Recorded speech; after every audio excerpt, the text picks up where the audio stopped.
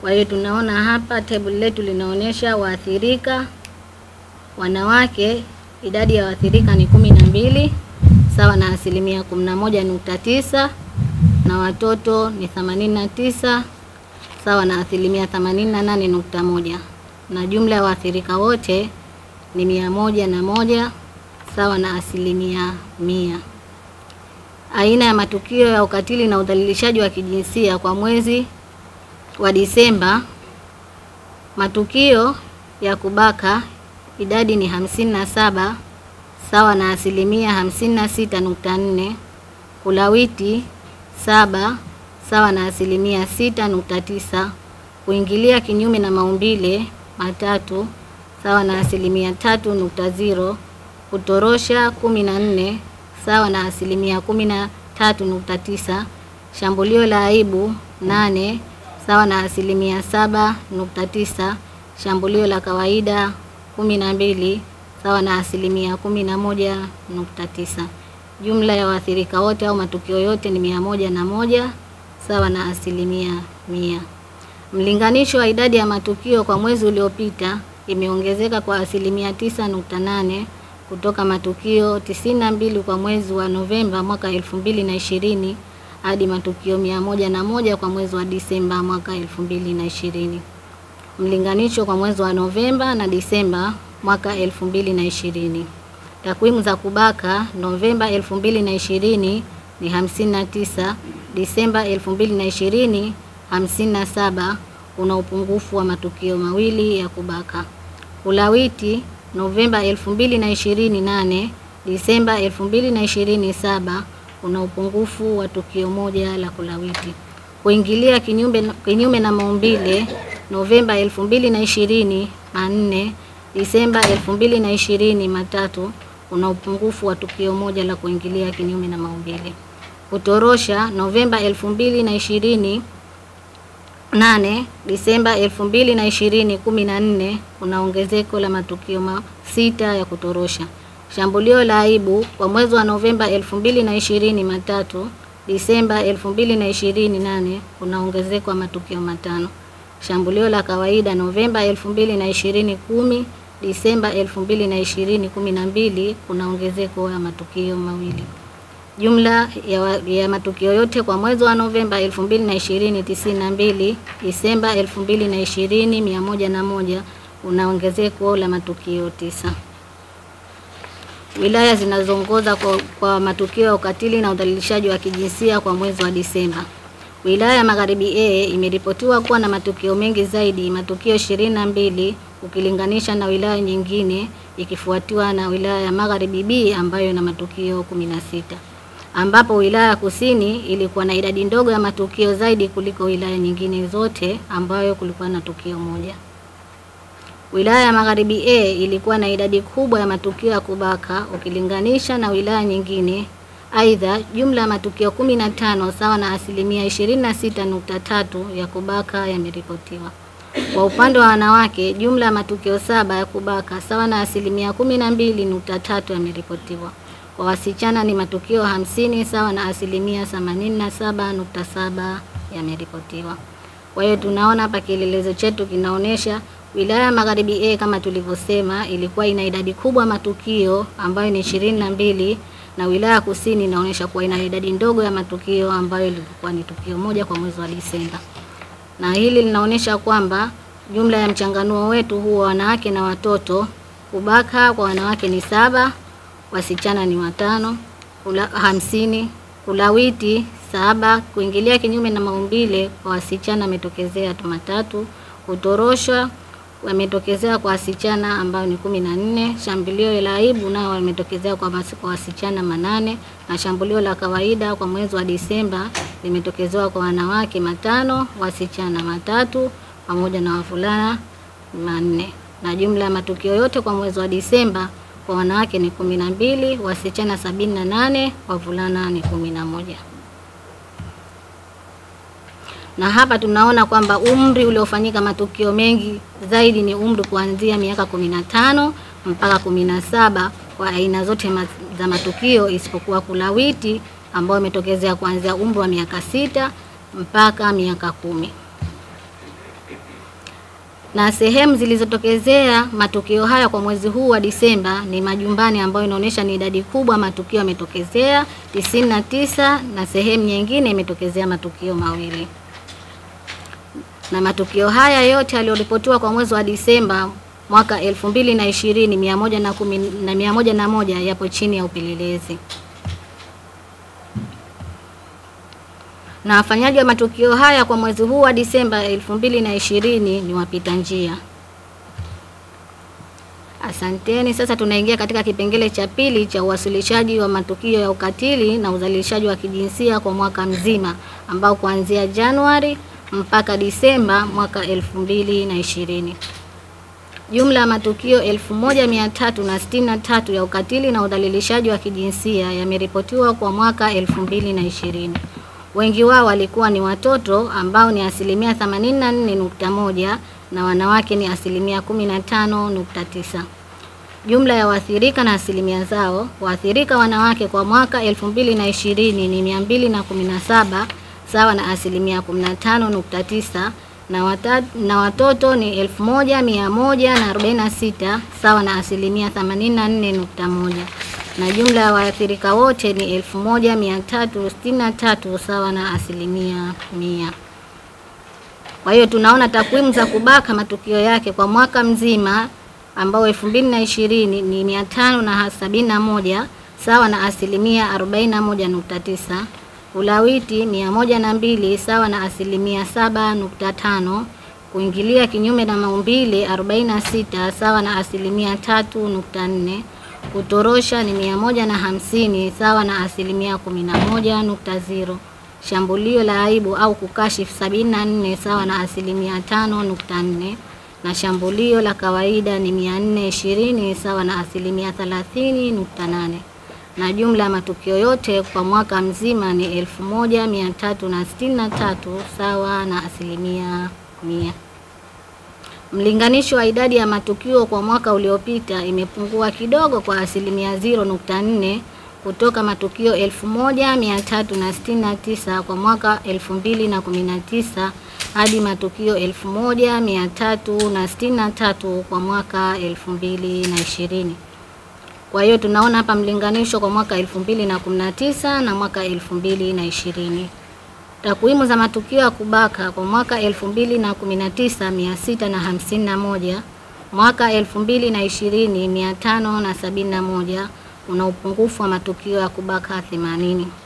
Kulawiti mwaka 2019 ni elfu moja mia moja na sabini na hamsini na saba, mwaka 2020 ni mia moja na mbili, kuna upungufu wa matukio hamsini na tano kuingilia kinyume na maumbile mwaka elfu mbili na kumi na tisa nane mwaka elfu mbili na ishirini arobaini na sita kuna ongezeko la matukio 38. Kutorosha mwaka elfu mbili na kumi na tisa ni mia moja na themanini mwaka elfu mbili na ishirini mia na hamsini kuna upungufu wa matukio 30. Shambulio la aibu au kukashifu mwaka elfu mbili na kumi na tisa mia moja na nne mwaka elfu mbili na ishirini sabini na nne kuna upungufu wa matukio thelathini. Na shambulio la kawaida kwa mwaka elfu mbili na kumi na tisa mia mbili na sitini na tisa mwaka elfu mbili na ishirini ni mia nne ishirini kuna ongezeko la matukio mia moja na, jumla ya matukio yote kwa mwaka elfu, elfu mbili na kumi na tisa ni elfu moja mia tatu na sitini na tisa mwaka elfu mbili na ishirini elfu moja mia tatu na sitini na tatu kuna upungufu wa matukio sita. Wilaya ya Mjini imeripotiwa kuwa na matukio mengi zaidi ukilinganisha na wilaya nyingine ambayo na matukio mia mbili na tisini na saba ikifuatiliwa na, na wilaya Magharibi B ambayo ilikuwa na matukio mia mbili na wilaya ya Micheweni kwa mwaka mzima ina idadi ya matukio ndogo ambayo ni matukio arobaini na moja. Wilaya ya Mjini ilikuwa na idadi kubwa ya matukio ya kubaka ukilinganisha na wilaya nyingine. Aidha, jumla ya matukio hayo yaliyotokezea kwa wilaya ya Mjini ni tisini na saba sawa na asilimia kumi na saba nukta ziro ya kubaka yaliyoripotiwa. Kwa upande wa wanawake, jumla ya matukio sitini na nne ya kubaka sawa na asilimia kumi na moja nukta mbili yameripotiwa. Wasichana ni matukio mia tano na saba sawa na asilimia themanini na nane nukta nane yameripotiwa. Ndo kama tulivyosema huko, mwaka mzima kuanzia Januari mpaka Disemba, wilaya inaongoza zaidi ni wilaya ya mjini Magharibi B na Magharibi A, maana yake ni mkoa mzima huo, na wilaya ya Micheweni ambayo ina idadi ndogo ya matukio ambayo ni 41. Na hapa tunaona kwamba ni mlinganisho kidogo tu wa lakini kwa mwaka mzima baina ya watoto, wanawake pamoja na wavulana matukio ya kubaka kwa wanawake ni 64, kwa wasichana ni 507, ulawiti ni mia moja na mbili, kuingiliwa na kinyume na maumbile wanawake ni moja, wasichana ni 45 kutorosha kwa wanawake tisa, kwa wasichana ni mia moja na thelathini na tisa na kwa wavulana ni mawili. Shambulio la aibu kwa wanawake kumi na sita, wasichana hamsini na wavulana manane, na shambulio la kawaida kwa wanawake mia moja na ishirini na saba, wasichana mia moja hamsini na nane na wavulana mia moja na thelathini na tano na jumla ya matukio hayo kwa mwaka huo ilikuwa kwa wanawake 217, wasichana 899 na wavulana 247 na kwa mwaka mzima kuanzia Januari mpaka Disemba, umri ambao unaongoza zaidi kwa matukio haya kwa watoto ni umri kuanzia miaka kumi na tano mpaka kumi na saba.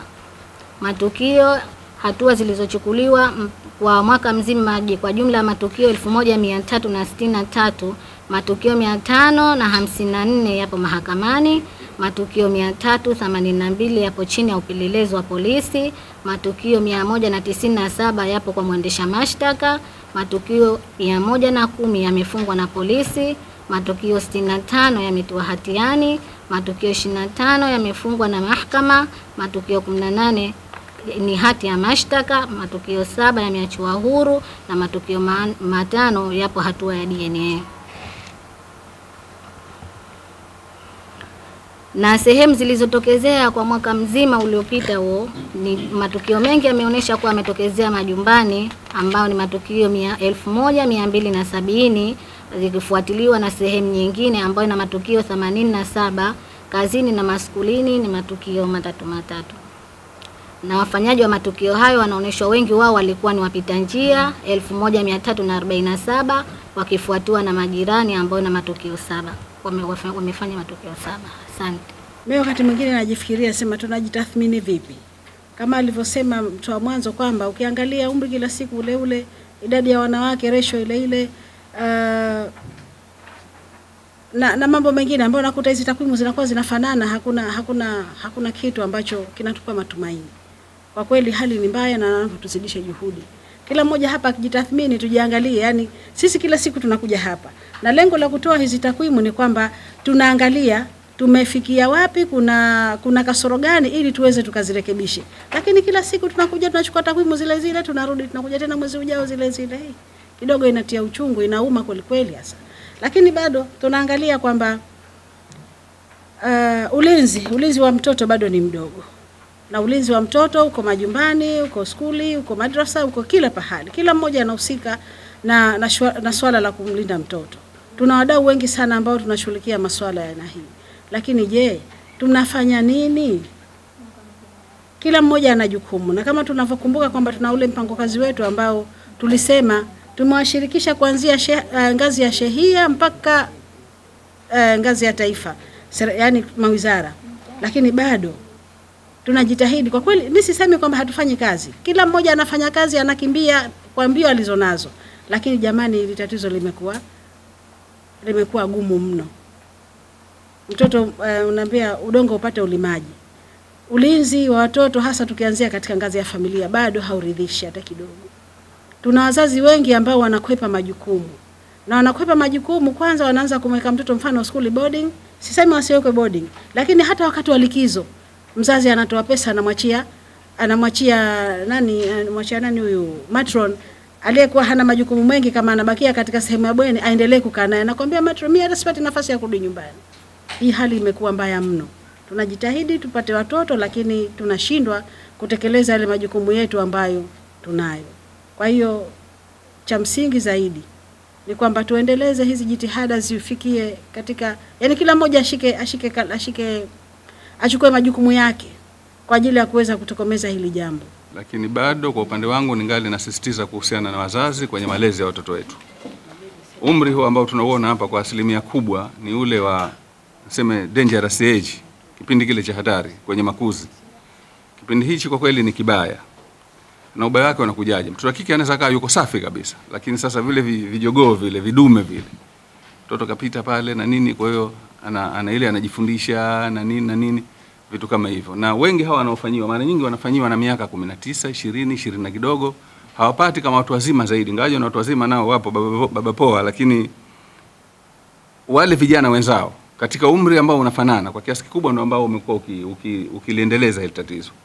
Na haya makosa yapo kwa mujibu wa sheria, lakini kama ilikuwa kuna makubaliano, wamekubaliana yameisha, lakini sheria ndio inawabana na inafanya mpaka makosa sasa yawe mengi, kwa sababu sheria inasema mtoto chini ya miaka 18 hana hiari. Kwa hiyo hata ukubaliane naye kabisa, yani mmekubaliana, mmekwenda sehemu mmefanya mliofanya, lakini ikibainika, kwa hiyo ile um, ule umri wake ndio unapelekea haya makosa hasa ya ubakaji kuongezeka katika, katika hali hiyo. Lakini kwenye malezi si watoto wa kike peke yake, hata watoto wa kiume. Nadhani sasa hivi jamii ina nafasi kubwa ya kuelea zaidi watoto wa kiume, kwa sababu utashangaa mtu miaka kumi, kumi na tatu, tisa wa kiume anafanyiwa vitendo hivi. Akili ya kijitu kizima unakaa unajiuliza inakuwaje, inaanza anzaje? Maanake mpaka mtu wa kiume afike hatua hiyo, lakini pengine kuna tamaa, kuna vishawishi, kuna watu ambao adabu zao fupi, kwa hiyo nafika pale wanajaribu kuwashawishi wale watoto, na kwa sababu akili zao tayari zishaelekea huko, kwa hiyo wanatafuta kila kila mbinu kuwahadaa watoto na kupelekea makosa pengine ya, ya ulawiti kuendelea. Kwa hiyo bado ningali nanyasa jamii, tusione tabu, tusione vibaya kukaa na watoto wetu ili kuzungumza nao. Sote ni wazazi, tuna watoto majumbani, kuna walimu, kuna wa, wa, wa, wa, wa shuleni, wa vioni, lakini baadhi ya wakati utakuta pengine walimu hao hao ndio wanapotoka nao wanaingia kwenye janga hili na wanashtakiwa kwa makosa pengine ya kwenda kwenda kinyume au kwenda kwenda kinyume na taratibu na malezi ya watoto wanapokuwa mashuleni, aidha vioni au, au shuleni. Kwa hiyo katika hili bado tungali tunasisitiza kwa upande wetu kwamba tuendelee na hali. Katika awamu hii ya nane, juzi kuna Mahonda pale, kuna kijana mmoja alimwingilia mtoto Tahira, amefungwa miaka kumi, kijana tu mdogo miaka ishirini hivi. Kwa hiyo kesi ilikuwa mwaka 2019 imetoka hukumu juzi. Kwa hiyo imeanza kutupa moyo kidogo, labda kwa kasi tunakwenda nayo, labda wenzetu mahakimu wanaweza kidogo kipindi hichi wakatoa zile adhabu. Tulikuwepo mwezi uliopita hapa, tulimsikia bwana jaji yule alikuwa hapa majibu yake. Sina haja kuyarudia, lakini ulikuwa utaona yale majibu yalivyokuwa kwamba ah, maanake hakimu kapewa uwezo kama adhabu miaka 15 lakini na uwezo hata kumfunga mwaka mmoja. Sijui, nadhani ilikuwa kama aingia kilini kidogo na nini, kwa sababu kama ulitolewa ushahidi amepatikana na hatia, sheria inasema miaka 15, eti kwa nini usimfunge miaka 15?